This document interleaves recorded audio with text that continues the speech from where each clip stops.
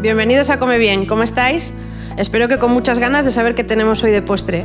Hoy tenemos de postre un delicioso postre frío de yogur y manzana. Para elaborarlo necesitaremos gelatina, manzanas, yogur natural, miel y mantequilla. En primer lugar vamos a elaborar una compota con las manzanas. Para ello las vamos a pelar y las vamos a descorazonar. Podemos utilizar manzanas de una sola variedad o de varias variedades diferentes, eso es indiferente. También podemos utilizar en lugar de manzana pera. Da igual que esté madura o que esté verde, como vamos a hacer compota con ellas, es lo mismo. Y a continuación la picamos. La partiremos en cuatro trozos, de esta manera,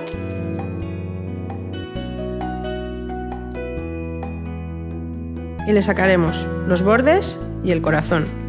Una vez tenemos picadas las manzanas, vamos a añadir la miel y la mantequilla. Y lo vamos a poner 10 minutos al microondas a potencia máxima. Ya tuvimos la manzana 10 minutos en el microondas y la pasamos por la batidora y nos ha quedado esta textura. Hay que tener en cuenta que la manzana en el microondas se deshidrata y reduce bastante su volumen.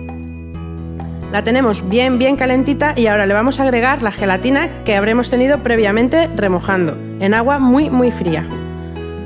Cogemos la gelatina, escurrimos bien para que no quede agua y la agregamos a la compota de manzana.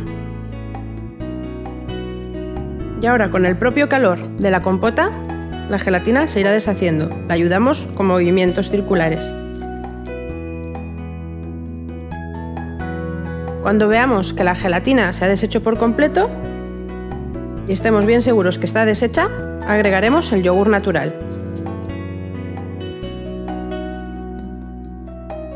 Y mezclaremos con movimientos envolventes para que quede todo bien homogéneo.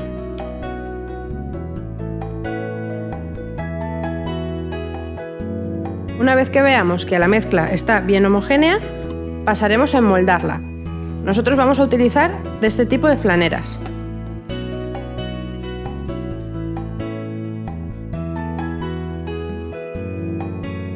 Estas flaneras que estamos utilizando nosotros son bastante grandes, pero podemos utilizar las que tenemos de toda la vida, que son más chiquititas en casa, de tamaño de flan, que son más adecuadas para una porción.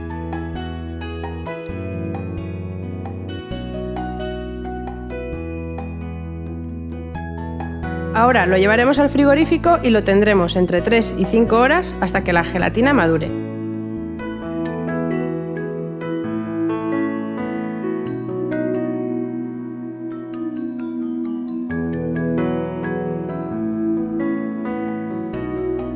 Después de 5 horas en el frigorífico, hemos sacado nuestro postre y lo hemos desmoldado.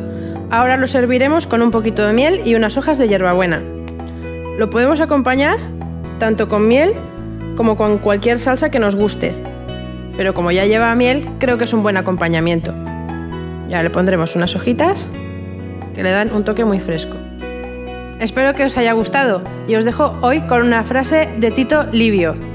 El miedo siempre está dispuesto a ver las cosas peor de lo que son. Un abrazo, hasta pronto.